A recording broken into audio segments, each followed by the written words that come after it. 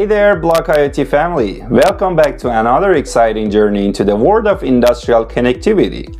Today, we are diving into the remote connectivity in the industrial environments with Siemens SINEMA Remote Connect or SINEMA RC. So imagine having the power to access your remote plants or machines with just a click, no matter where they are. SINEMA RC is your ticket to easy and secure teleservice and remote maintenance. SINEMA RC isn't just another software on your servers, it's your VIP pass to hassle-free management of those tunnel connections. So picture this headquarters, service technicians, and those mighty machines all under one digital roof. It's like having your own virtual backstage pass to the industrial concert of the century. But hold on your hard hats because setting up the secure connection is a breeze. Your service technicians and the machine just tap into the SINEMA RC server like old pals exchanging secret handshakes, certificates fly around, identities get confirmed, and voila, remote access unlocked. It's like the VIP lounge but for your machine or plant. And here is the genius part, All licenses and softwares or add-ons are managed centrally. No more hunting around for that mysterious updates. It's all in one place on your server, which can be hosted on a cloud instance or on your own computer at the office or on site. And for the tech wizards out there, we've even got a REST API up our sleeves, automating tasks and making large installations a walk in the digital park. So whether you're cruising through the airwaves, riding the DSL Express, or navigating through your private network wonderland, SINEMA RC is your guide. And hey, speaking of guides, Siemens SCALANCE industrial routers have your back for connecting to those remote networks. So buckle up because today we are not just talking the talk, we are walking the secure remote access walk. It's all happening here right on Bloc IoT. So please hit that subscribe button, smash the like, and let's get started with the ultimate SINEMA RC experience. Okay, as you may already know, networking and overall security and cybersecurity in industrial environment particularly is very complicated. But I'll try to keep things simple and I want to show you how SINEMA RC works in a real life example. So that's why I prepared this demo for you and after understanding what's the purpose of this video and training, we'll go into the detail and I'll show you what pieces of software and hardware would you need in case you want to have a remote connection to your site or on your machine. So here's the demo that we have and it's pretty much the same concept in any industrial application. As you can see here, I have a laptop which has a TIA portal running. My laptop is connected to the internet via a router. It really doesn't matter if it's wireless or wired connection, you just need an internet connection on your laptop. So this could be a technician laptop or an engineer or someone in the headquarters who just want to know what's going on in the plant. So on the left side, we have a few devices. Don't worry, I'll show you the data sheet and what they are exactly and what they do. But just to know, we have two pieces of hardware, one for connecting to the local Wi-Fi and the other one to make a connection to the SINEMA RC server. And of course, there is a SINEMA RC server installed somewhere, which in my case is in a cloud instance sitting somewhere on the internet. But again, one of the beauty of SINEMA RC is you can take control of everything and you can install the SINEMA RC server on a local machine, which normally is an industrial PC or IPC, which gives you the full control of your system and your machine. So as you can see on this demo, I have S7 1200 CPU and the ultimate goal of this video is to show you how you can remotely download from the TIA portal, which could be anywhere in the world, to a PLC or HMI, which also could be anywhere in the world. And we just don't want to be worried about the security, connectivity, and so on. We just want to easily use the software to make all this connection for us. Okay, let's just switch the camera and I want to show you how the setup looks like. As you can see, I just have a power supply on the left side. I have a Wi-Fi module. I'll show you the datasheet again. And also I have this industrial router to make the connection to the SINEMA RC server. And this module is receiving the internet connection from this Wi-Fi module. And that's why we have this white cable over here. And on the right side, I have this S7 1200 CPU, which could be a 1500 CPU, 300, or any kind of HMI really doesn't matter. So all I need to do, I just need to connect my CPU to this industrial router, which is connected to my SINEMA RC server. So there is no physical connection between my CPU and my laptop. And the connection between my CPU and my laptop will be established via the SINEMA RC server over the internet. is the technical data for the modules that I'm using for this demo. This could be several other type of hardware and really depends on your application. But here, as I mentioned, I have a SCALANCE S615 industrial router and also I have a SCALANCE WUM763-1 which basically acts as a Wi-Fi access point to provide the internet to my industrial router. Again, SINEMA RC is very flexible. It supports several different hardwares. This could be a cellular module, and again really depends on your application. In case you are thinking to have a similar design, just consult with your local Siemens sales representative or application engineer and they will help you to figure out a good design. Okay, so that was it for the hardware. So we just used two pieces of hardware and for the server side you have two different options. You can just easily go to the Siemens Industry Mall to see different options and if you have an account you can get the pricing and so on. So the first option is using the SINEMA RC server as a SaaS or software as a service.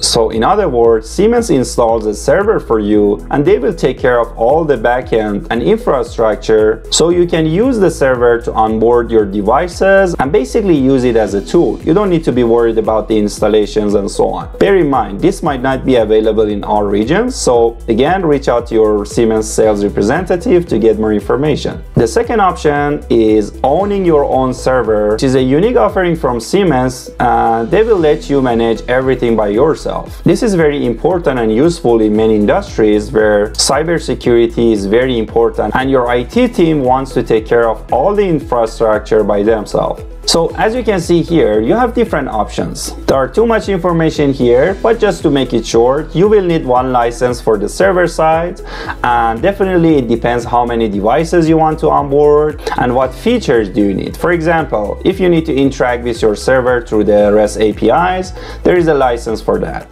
If you want to manage your users via a central management system, there is another license for that. And overall, there are different upgrade packs which gives you the opportunity to onboard more devices. This is a very reliable platform and you can add thousands of devices into one single server. Okay, this was the components used in our demo. Let's just dive into the details and I'll show you how to use the software and overall how the VPN connection is established and let's see how we can download remotely to our PLC from TIA portal.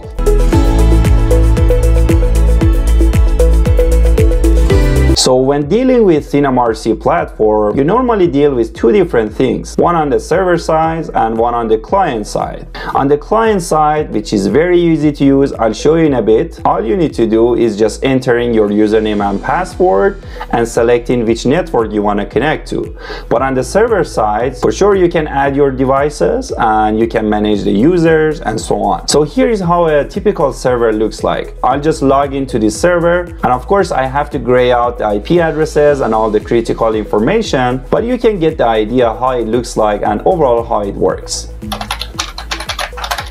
If you log in as an administrator, you will have these options on the left. As you can see, the user interface or UI is pretty simple and easy to understand. On the left side, you have remote connection, which shows you which devices are connected to these servers. You can update different devices and you can manage your users, you can manage security and so on. Siemens has a detailed video on setting up the server and also the client, so I won't spend much time on that. So on this demo server, as you can see, I have three devices onboarded and two of them are right now online and one of them is offline. So as you can see, it's very easy to see which device is online and offline. So that's about the server side. Again, please refer to the Siemens official video about the server if you want to get more information. I just wanted to show you how it looks like. And let's jump into the client and see how we can actually use and connect to this server.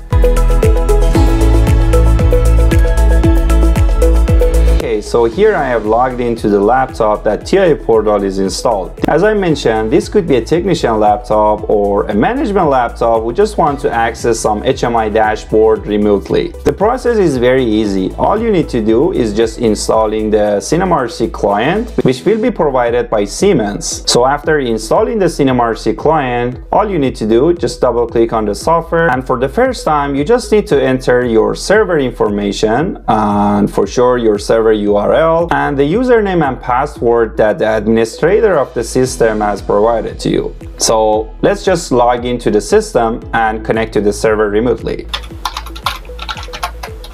Okay, as you can see on the client side, I can also have a quick overview of the connected devices and easily monitor which device is online or offline. For sure, the administrator can limit you what you can see and what you cannot. So for now, I just want to connect to this device and that's the device that is on my table that I just showed you. So with just a few clicks, I can easily connect to that device remotely. So I just hit the connect and just after a few seconds the connection is established securely. So right now we have a VPN tunnel connection between my laptop and the SINEMA RC server and also the device. So it's like I'm sitting right next to my device which could be anywhere in the world. And now you can go to your TIA portal and here I just have a very simple project. I just have my S7 1200 CPU let's just make some modification in the program and do a download. So I just want to add a branch. I just go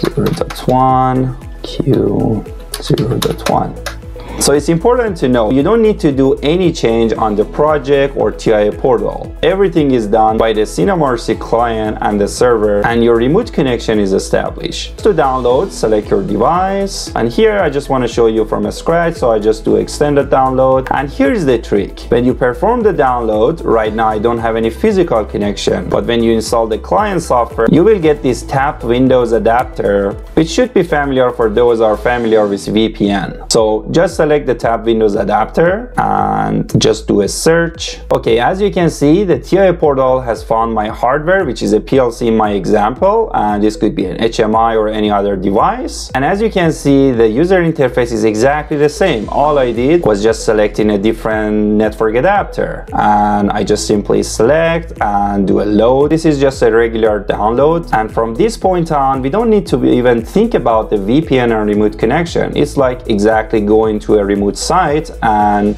working with our PLC in front of the panel.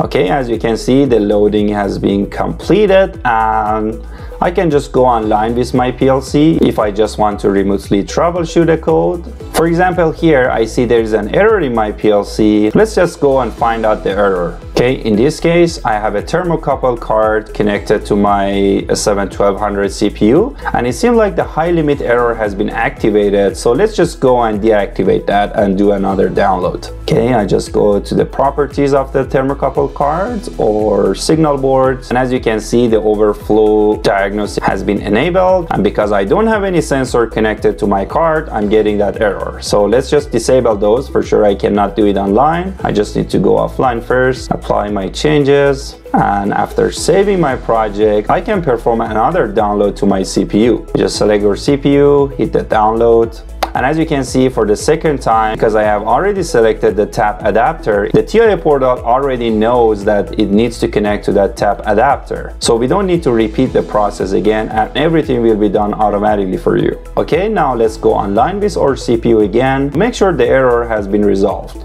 Okay, as you can see right now everything is green and there is no error in your CPU. Let's just quickly look into the hardware and make sure there is no red LED or error message on the CPU as well. As you can see over here, the lights on my PLC are green and I can just verify that by quickly taking a look at on my TIA Portal online monitoring. And those who have worked on site can understand how much time you can save by using a system like this to remotely access your plants or on your machine.